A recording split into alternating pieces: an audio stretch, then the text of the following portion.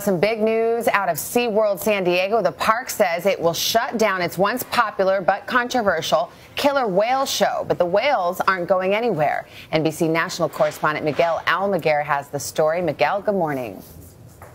Savannah, good morning. The Killer Whale Show is the trademark of SeaWorld San Diego, but with ticket sales slumping, the company says it'll end its long-standing tradition. Still, many say that's not enough. At SeaWorld San Diego, the show is over, or is it? The park announcing next year it'll phase out its killer whale show after years of mounting criticism over SeaWorld's treatment of orcas in captivity. But while they're closing the curtain on the Shamu show as we know it, in 2017, a new, bigger killer whale exhibit will be unveiled. What critics this morning are calling a bait and switch. Sam Berg was a trainer at SeaWorld.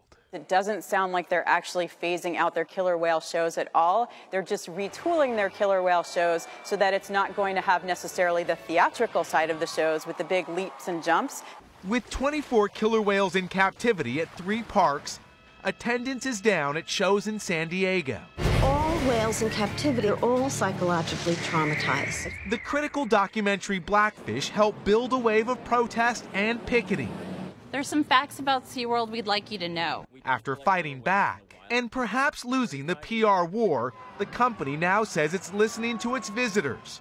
Declining our interview request, SeaWorld went public online with its new plan for a larger, more informative killer whale exhibit in 2017. It's going to be focused more on the natural setting, natural environment, and also the natural behaviors of the whale. And it'll have a strong conservation message. With SeaWorld promising change, this morning critics say the future for these whales remains as bleak as ever. A once popular show soon to be gone as a new exhibit takes its place.